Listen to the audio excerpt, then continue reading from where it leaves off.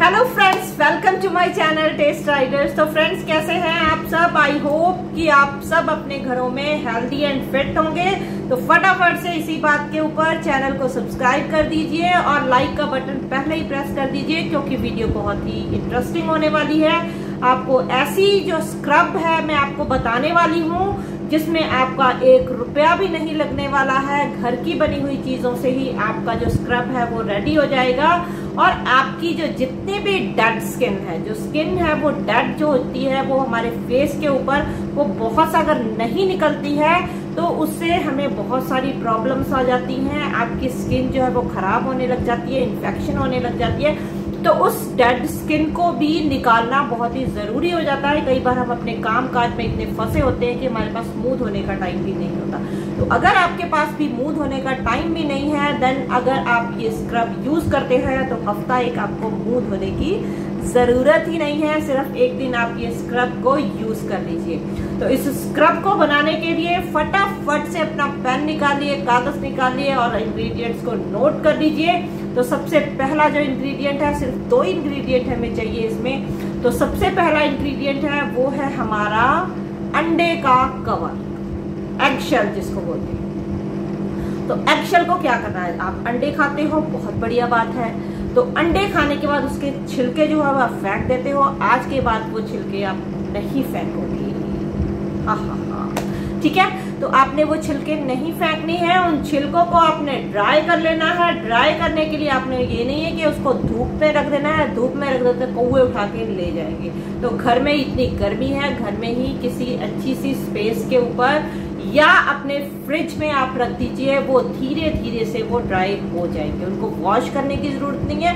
आप फ्रिज में एक प्लेट में डाल के रख दीजिए दो दिन दो, दो तीन दिन में वो अच्छी से ड्राई हो जाएँगे। सबसे ही बढ़िया अच्छी से तरीके से वो ड्राई अब उन एग के शेल्स को आपने क्या करना है? एग के शेल्स को आपने मिक्सर में उनको ग्राइंड कर लेते हैं तो इसलिए मैं यही कहूँगी कि 10 से 12 अंडों का जो शेल है, वो आप उसको जो है वो ड्राई कर लीजिए। ताकि उसकी थोड़ी क्वांटिटी आप उसको यूज़ कम से कम दो तीन हफ़्ते तो आप उसको यूज़ कर सके।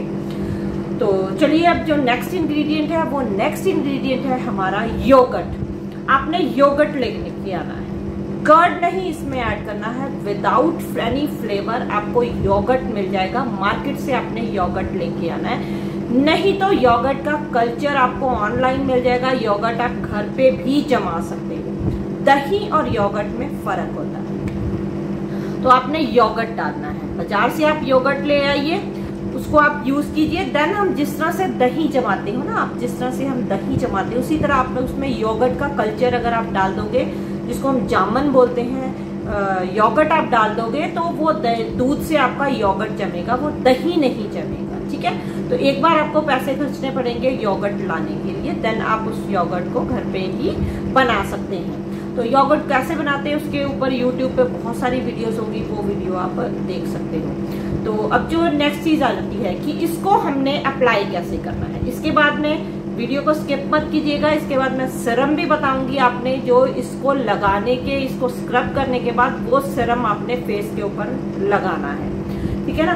तो डेड स्किन को निकालने के लिए आप कितने सलों में जाते हो, वहाँ पे सिटिंग्स देते हो दो सिटिंग तीन सिटिंग चार सिटिंग्स आजकल वो मशीन के साथ जो है वो लोग डेड स्किन निकलवाने जाते हैं, सुइयाँ मरवाते हैं ताकि डेड स्किन निकल सके। और जो है हमारी जो फेस का सर्कुलेशन फास्ट हो सके। अगर वही चीज़ हमें घर पे बैठे मिल जाए तो क्या बढ़िया चीज़ है ना? तो योगर्ट डाल दिया आपने। अब इस, जो इस मिक्सचर को आपने क्या करना है? इस मिक्सचर को अपना फेस वॉश कर लेना है। फेस को सुखाना नहीं है आपने, ठीक है? फेस को आपने सुखाना नहीं है फेस वॉश करना है। गीले फेस के ऊपर ही आपने इस मिक्सचर को ले लेना है और हल्के हाथों से अपने फेस के ऊपर अप्लाई करना है। अप्लाई करने के बाद उसको हल्के हाथों से धीरे धीरे से आपने मसाज करनी है। धीरे धीरे से अगर आप मसाज करोगे तो उससे क्या होता है कि आपकी जो डेड सेल्स हैं डेड सेल के जो नीचे वाली स्किन है, वो आपकी डैमेज नहीं कई बार हम क्या करते हैं कि डेड सेल निकालने के चक्कर में बहुत ज़ोर से स्क्रब कर लेते हैं तो उसके जो नीचे वाली स्किन है, जो स्किन हमारी नई आनी है, वो भी डैमेज हो जाती है। और हम कहते हैं कि हमें फ़र्क क्यों नहीं पड़ रहा? हमारी तो नई स्किन भी वैसी आ रही है। तो ये छोटी छोटी चीज़ें हैं, ये पॉइंट्स हैं आपको ये चीज़ों का ध्यान रखना चाहिए। अगर हल्के हाथों से मसाज में कह रही हो तो अपने हल्के हाथों से ही मसाज करनी है। हैवी हैंड से, अपने भारे हाथों से ज़ोर ज़ोर लगाकर मसाज करनी है। पाँच मिनट मसाज आप करेंगे तो आपके जो ब्लड सर्कुलेशन है वो फास्ट हो जाएगा, अंदर वाले जो सेल्स हैं वो स्टिमुलेट हो जाएँगे।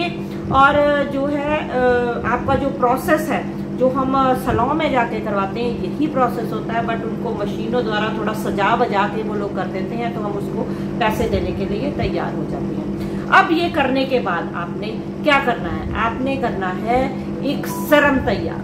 तो उस सिरम को तैयार करने के लिए आपको क्या क्या चीज़ें इंग्रेडिएंट चाहिए वो नोट करेंगे सबसे पहले आपको चाहिए aloe vera gel fresh aloe vera gel लेना है, बढ़िया वाला एलोवेरा जेल लेना है ट्रांसपेरेंट वाला एलोवेरा जेल जो आपने लेना है, जो कलर्ड होता है ग्रीन कलर का होता है, वो आपने इसमें अप्लाई नहीं करना है। अगर फ्रेश एलोवेरा आपको मिल जाता है। घर में लगा हुआ है तो उससे बढ़िया बात कोई नहीं है। आपने फ्रेश एलोवेरा ले लेना है। Two tablespoon fresh aloe vera के ले लेने अब जो नेक्स्ट इंग्रेडिएंट है वो है हमारा आ,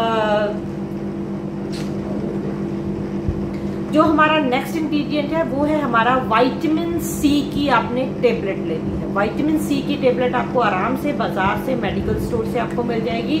जो हमारा नेक्स्ट इंग्रेडिएंट है वो है हमारा वाइटामिन ए का कैप्सूल्स वाइटामिन ए का कैप्सूल भी मिल जाता है वाइटामिन ए की टेबलेट भी मिल जाती है। तो वो वाला हमें एक कैप्सूल वो चाहिए और वाइटामिन ई e के हमें दो कैप्सूल्स चाहिए, ठीक है? ये सारी चीज़ें हो गई। साथ में हमें चाहिए rose water two tablespoon हमें रोज वाटर चाहिए और वन टेबल स्पून हमें ग्लिसरिन चाहिए, ठीक है?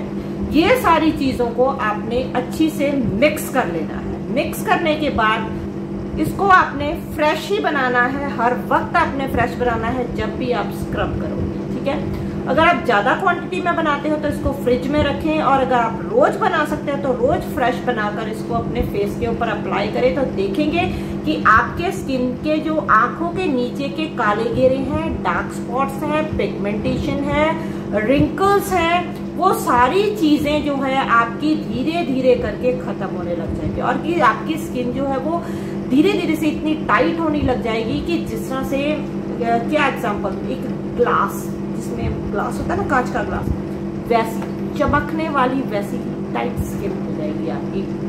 बस टाइम निकालना पड़ेगा आपको इन सब चीज़ों के लिए, क्योंकि कुछ भी काम करना, उसके लिए टाइम निकालना बहुत ही ज़रूरी होता है। अब जो जो मेरा मेन जो हर वीडियो में एक चीज़ मैं बोलती हूँ कि जो सुंदरता है, वो अंदर से बाहर आती है। तो अंदर अपना क्लीन रखिए। अंदर क्लीन रखने के लिए आपको हेल्दी लाइफस्टाइल आपको अपनाना पड़ेगा। तो फ्रेंड्स आज के लिए इतना ही। मिलते हैं अपनी नेक्स्ट वीडियो में। Till then bye stay happy and healthy and keep smiling hello कर हेलो